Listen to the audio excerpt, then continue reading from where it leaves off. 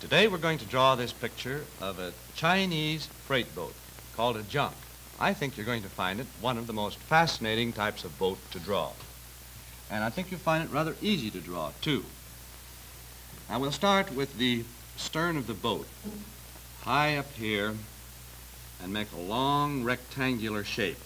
You know, that's just a square that's stretched out pretty long. It's about a fourth of the way in from the edge of the page and about a sixth of the way up. Then we're going to make the gunnels curve like this till about there at the bow of the ship. So let's draw from this corner, draw a sketchy curved line up to the bow. Now the stern has an interesting shape like this. It slants out and then it slants back in. So it's a six-sided shape, or hexagonal. Now we want to show the underside here because this deck reaches out over the hull of the ship, indicated over on the other side too. Now the bow, slant it back like this, get that ship setting in the water, make the front end line rise a little higher. Now we're going to skip up here and put in those big shapes of sails. And we'll start right above the center of the back of the boat and suggest where this mast goes. Draw a line across like that. Then a line slanted up, you know, slants in a little. This one slants so that it's sort of wedge-shaped. Actually, this sail is seen in perspective as well as having that pointed shape to it. Now the second sail we want to set in front of, that is on the other side of this one. But let's get the structure here on the sides built up. And as I remember, there's a large cabin form here. Now the next mast would run up very high. Just sketchily put it in. Put the spar across the bottom like that and it disappears behind this corner. But let's get that edge curving behind this sail so that this one stays out there in front of it. Make that slant way up. Then there's an angle, another angle, and then almost straight down. These shapes are pretty important to get in the first place because these shapes are what will give interest to your whole composition. Notice this is sort of almost horizontal. This is triangular and about like that. Now we're ready to put in the spars. I guess those are made of bamboo. Let's put in one on this sail set another one in at an angle like this. Let's darken this one. Darken that one. Your middle sail, well, we can put one there, and we're going to keep slanting them more so that they're narrower, they're closer together back here, and wider apart over at that other edge of the sail until they describe a very interesting pattern of lines going in perspective. Same with this one, at the stern. And now with your black chalk, put in the shading on the underside of this deck and make it narrow as it goes forward. Block in, in shadow, the sides of these cube-like forms because we're going to have our light come from the left. There's a water line there or splash line, as we'd call it on our boats. And let's put this all in pretty dark shadow. Now we're ready to put some tone on these big sails. Take a piece of chalk on its side. Just block in boldly. But when you do, you might give a little curve to the edge of each of these sections Well, we'll fill it all in first before we go to the next one. First block it in, then give a little curve, concave curve to the sections between the spars.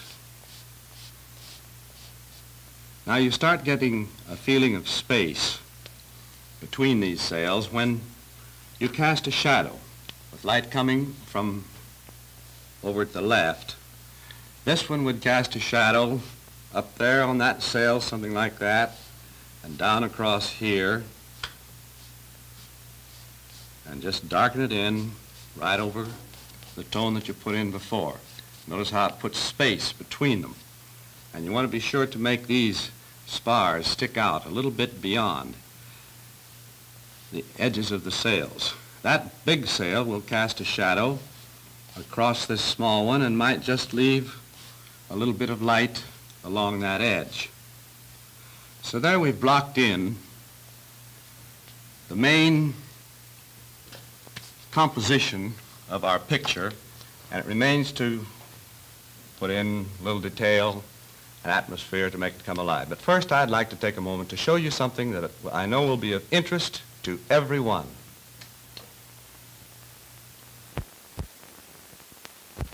Now back to our drawing of the Chinese freight boat, the junk.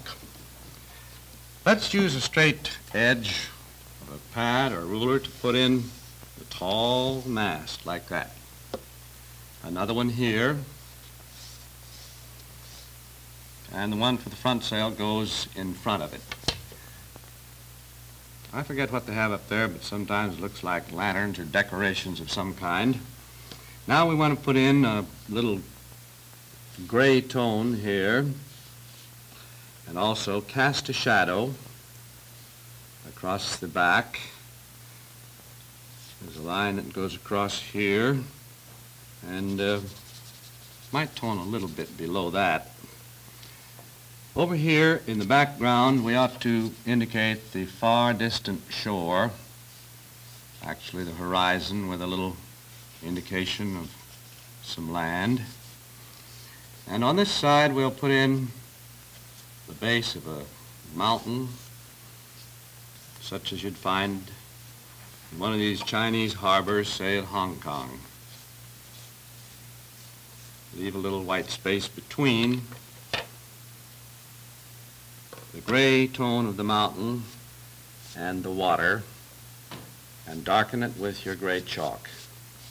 Just block it in as a mass and then darken in the gray tone of the water like this, putting in a few streaks, reflections,